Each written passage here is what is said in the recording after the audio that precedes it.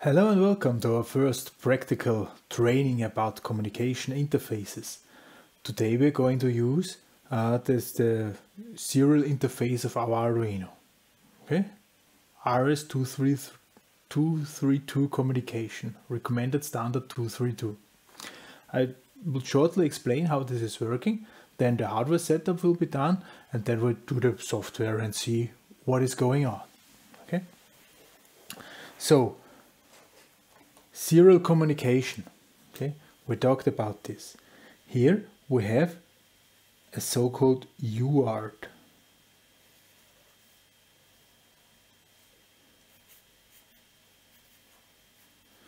This means universal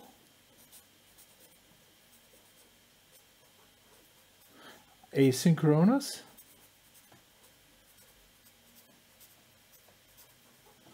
receiver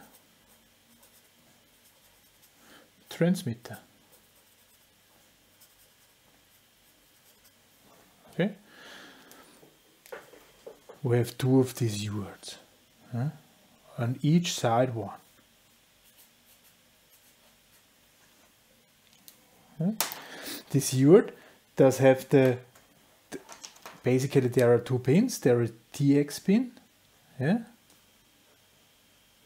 transmit and there's the RX pin receive pin. Yeah. Of course, which is sent out here must be connected to receive here. Okay, and which is uh, received here must be connected to transmit here. So whatever is transmitted here will be here received, whatever is transmitted here will be here received. Okay, and then we need one line which is necessary to connect both grounds together. If this is a part of the UART, does not really matter. I said in serial communication, if you remember this picture here, yeah, communication, we do have uh, some logic which needs to put one bit after the other on the line and receive one bit after the other. This is ex exactly what these UARTs are doing. Yeah? So these UARTs, we have one transmit buffer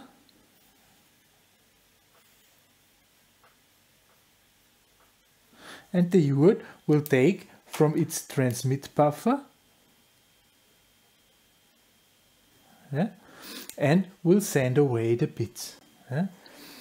If we're receiving, we do have a receive buffer. And whatever we receive will be shifted in here. Yeah? And if we have uh, received a full byte somehow, yeah, and we're calling in our Arduino program the serial.available, yeah, if there's something inside, we will this will be true. If there's nothing inside, this will not be true. What happens if I mean I cannot influence the behavior of this one, right? This is sending and sending and sending. And if nobody takes it out of the buffer, then the buffer is filled up, and once the buffer is filled up, it will be flushed. Gone. Nobody is interested in what I received. Gone. Yeah. So the UART is working independent from the program asynchronous from the program. Yeah? So the program has to ask the UART if something is there, or the program has to tell the UART, hey, please send this. This is this serial print or serial write or something like this. Yeah, UART. The issue now with our Arduino is we only have one hardware UART inside. Yeah, so this logic here, this is a hardware function inside the chip. Yeah? This is once there. In the Uno, in the Mega we have four. Yeah?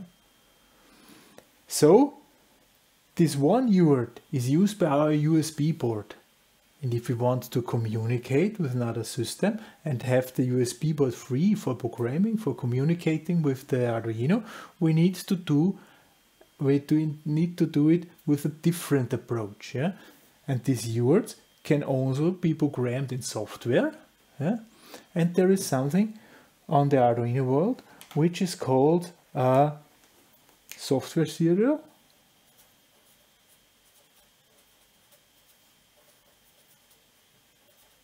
Yeah, the software serial is simply doing this uh, UART functionality in software.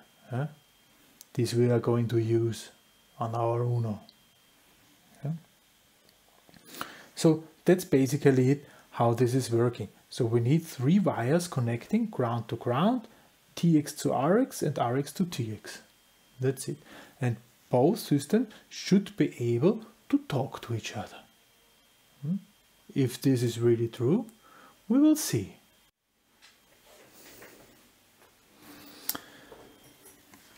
Okay, now let's come to the hardware setup.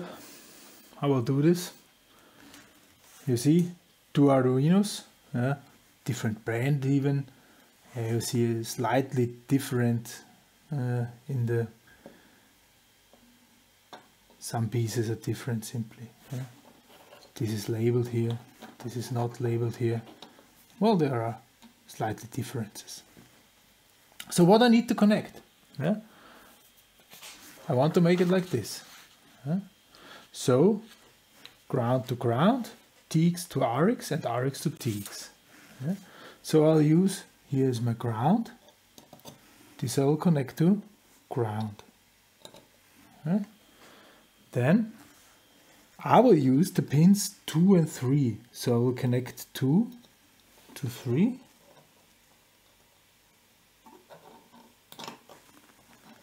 Okay, and with a second wire I connect 3 to 2. Hmm? Now they are crossed. Hmm? I mean, that's it, not too complicated. Yeah? Now, if you do it at home, yeah, you need a second Arduino, or if you do it in school, then ask your neighbor. Yeah? This would be partner, partner training. I have two USB wires here. Yeah. One I'm going to connect to here. So it started. Yeah. One I'm going to connect to here. So this one is also started. Ah, I need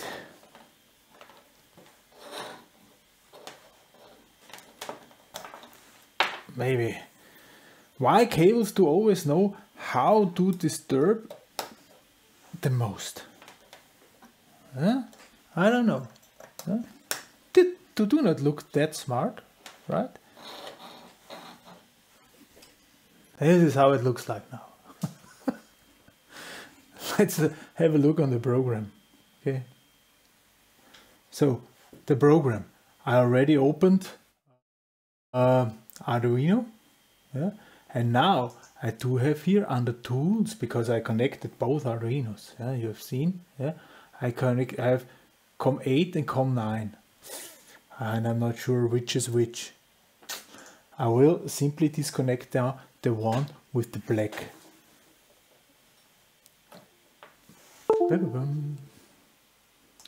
Tools board COM9. Okay, so this is COM8, this is COM9.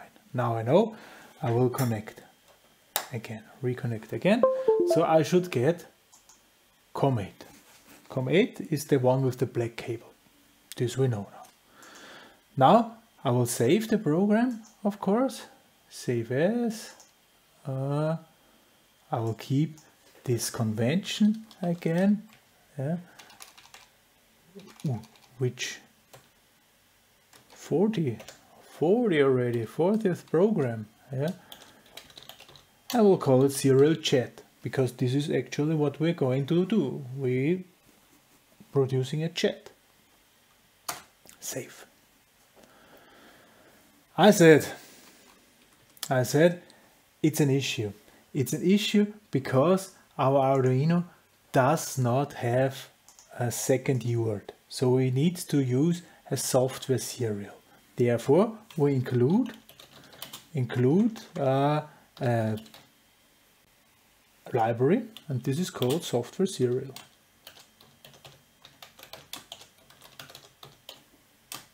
Software serial, sift, sift it's not, software serial.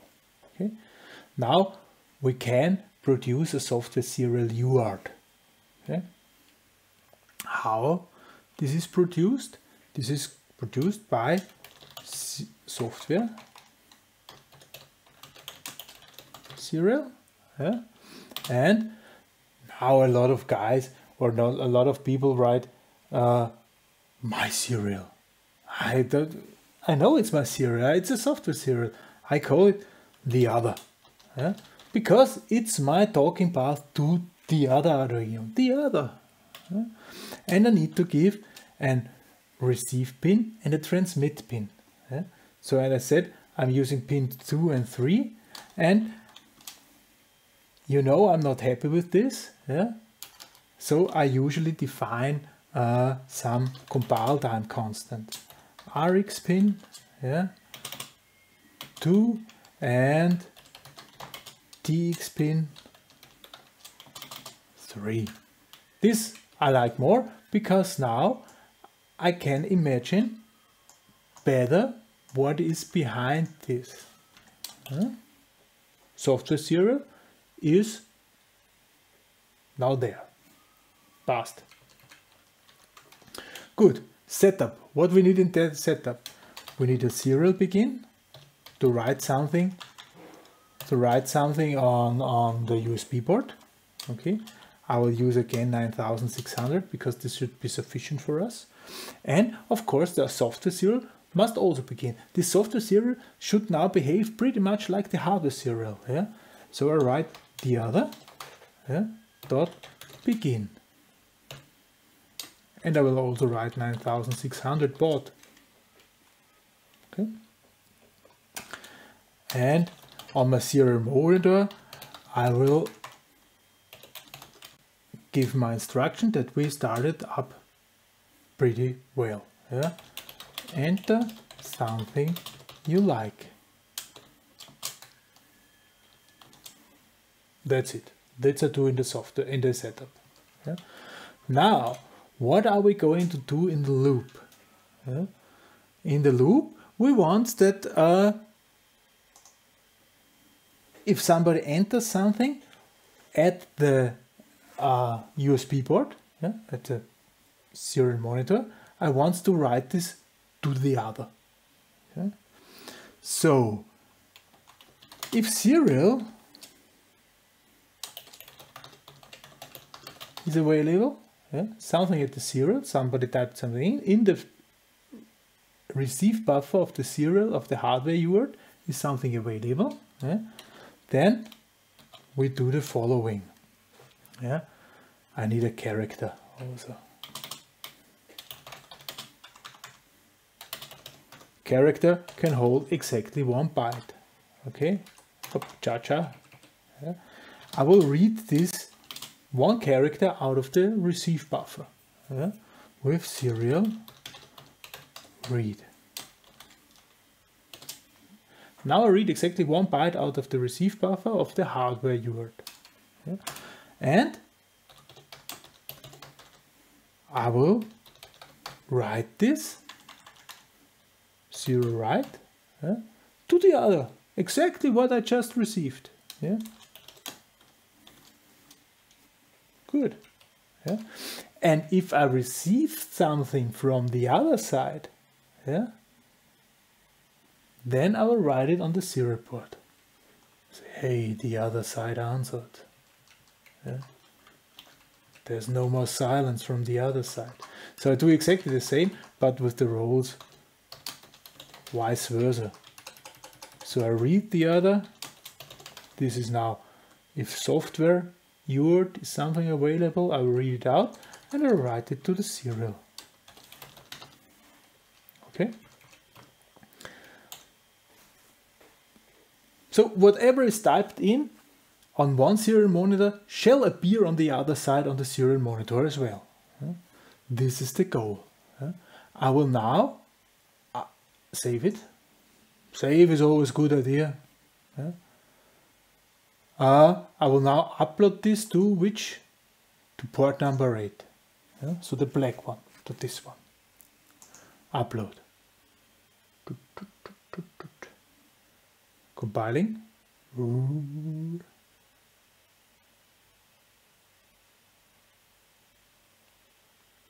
Ooh, something wrong? Ooh, bracket. Lost the bracket. Yes. Save.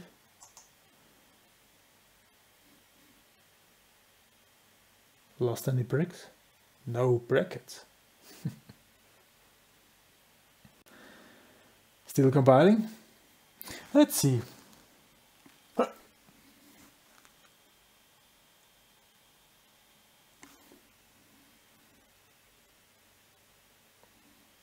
Download? Download successful. But of course this is not enough because uh, this one is doing this right now, but the other one is not. So we'll open the serial monitor now for this, for COM number 8. Hmm? I will put it here. Now I'll switch to COM board number 9. This is the other Arduino. Yeah. Ooh, there's also, I'll switch also the COM board. I will upload this. Now do the other Arduino as well. Yeah. Seems like we need two Arduinos running. I will open a second window of Arduino, a second instance. COM board, COM9 already mentioned it is ready to receive or to, to enter something.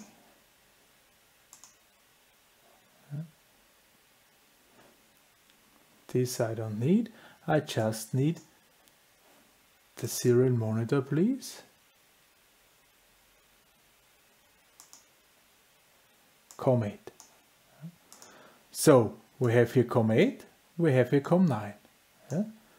This is the one with the uh, black cable and this is the one with the white cable.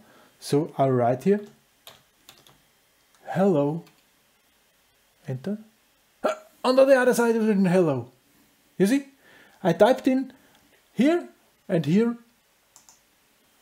and here right here, hello back. Whatever it's a chat. It's a chat. Those two are transferring data and it's a chat. Right. Nice, isn't it? You see, it's not that complicated. Yeah. I am the one. I am the one. Yeah. I'm I'm the one. Ah. Maybe it's foreign. and I am the other one. Huh? Nice. Okay. So that's it. That's how to communicate. Yeah.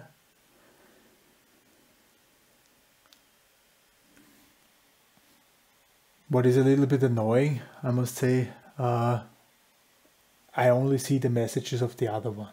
Yeah?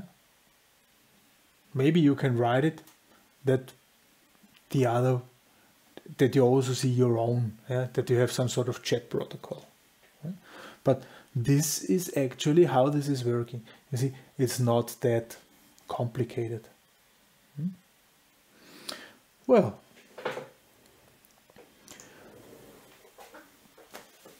that's it yeah? for UART for serial communication. Next time we're going to talk about a different type of communication protocol. Mm, we need another library and so on, but we will see. So thank you very much for listening and goodbye.